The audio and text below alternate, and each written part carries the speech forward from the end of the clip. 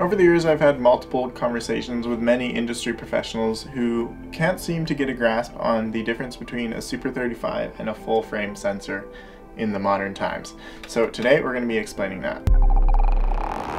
A lot of people reference 35mm film and other film stocks and sizes to explain sensor size, but for this explanation, we're just going to set that all aside into its own category and just explain the most common digital sensors you're going to see today in everyday cameras. The biggest reason that people get these two confused is because a lot of people refer to full frame sensors as full frame Super 35 as one term. This causes people to get confused between a Super 35 sensor, which is slightly smaller, and a full frame Super 35 sensor, which has the word Super 35 in the name of the full frame Super 35 sensor, which I think is where the confusion gets drawn. To help you understand, here's a brief visualization of each common sensor size we see today on digital cameras. Now we're starting off with micro four thirds, and as you can see, this is much more punched in on my face.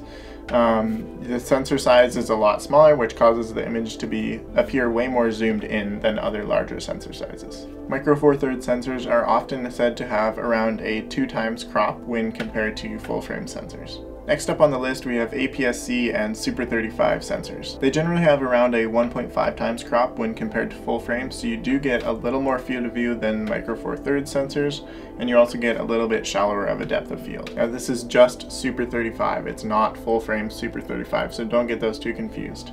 This is a super common sensor on a lot of digital cinema cameras. Um, you'll see it in things like the ARRI Alexa Mini, a lot of other cinema cameras, Red Komodo, I could list a billion of them. Okay, maybe not a billion, but there's a lot of cinema cameras that use this form factor.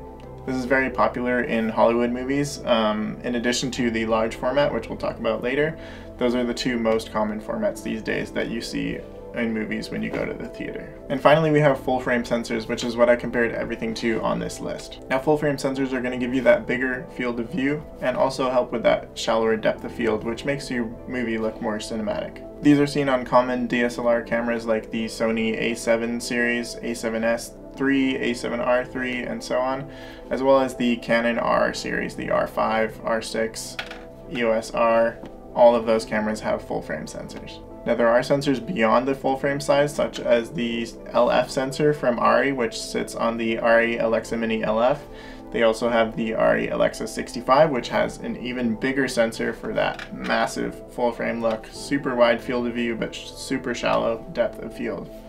And with red cameras, you have the 8K VistaVision sensor, which is also bigger than full frame. Once again, wider field of view, shallower depth of field, but those are much more specialty. You need special lenses for them that can deal with that a sensor that big but they're super cool. They just provide a totally different look and feel to the movie. So if that's what you're going for, pick one of those. Anyways, hopefully this cleared it up for some of you guys. Just a quick video explaining sensor size. Super simple stuff, but some people get it confused again, like I said, because of the full frame Super 35 versus just Super 35 millimeter sensors.